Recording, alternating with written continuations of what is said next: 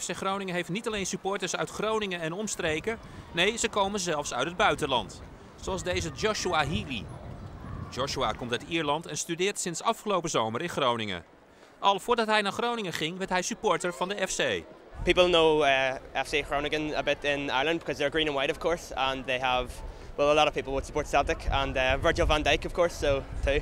And I, I started looking up about the team just, and I, I watched a few of the games, and then I watched the cup final in my living room too. I got it up on the stream on the TV, so uh, I looked about getting a season ticket before I came over, and I got that all arranged in about June. So when I came over, I've been at uh, every home game since then, and a few away games too. So. FC Groningen is redelijk bekend in Ierland, maar niet bij de eerste vrienden van Joshua. Van FC Groningen hadden ze nog nooit gehoord. They say uh, who are they and uh, yeah, how close is that to Amsterdam, the city? So uh, yeah, they, uh, some people would know about them, but uh, a lot of people still wouldn't because not a lot of people in Ireland would uh, know many other cities apart from Amsterdam. So yeah.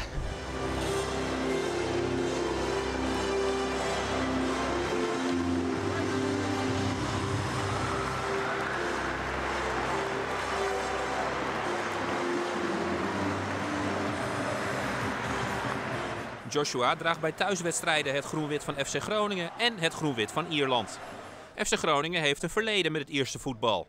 Did you know that Groningen once played for European football against Galway United? Uh, I was actually I was in the Three Sisters uh, watching the Marseille game on uh, Thursday night, and someone was telling me about it, and he was telling me there's a BBC documentary about it. So I was going to look it up. That was in the 80s, wasn't it?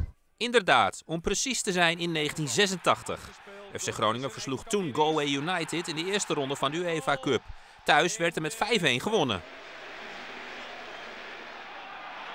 Mason. Eikelkamp is voorin. En Houtman bij de tweede paal. Mason gaat zelf. Ja hoor, daar is dan toch zijn doelpunt. Paul Mason, eigen initiatief.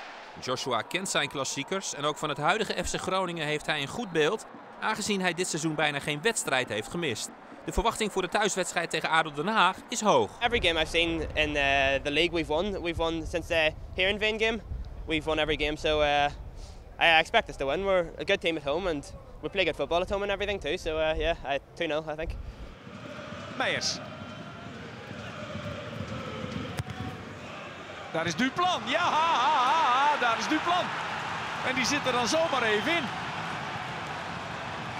Een knappe kopbal van Duplan die voor zijn man komt. Terwijl iedereen bij Groningen let op Havenaar. Want dat is uh, de kopspecialist. Is het uh, plotsklaps Duplan 0-1.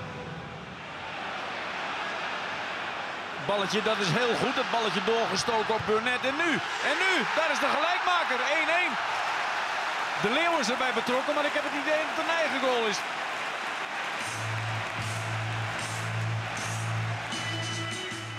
Wat gebeurt hier nog? Er komt een winnaar. Het is Danny Hoesen. Hoe is het mogelijk? Hoe is het mogelijk? Die Dekselse Hoesen. De frustratie en de teleurstelling bij Henk Vreesler is groot natuurlijk. Hoesen is de man die Groningen toch nog drie punten bezorgt.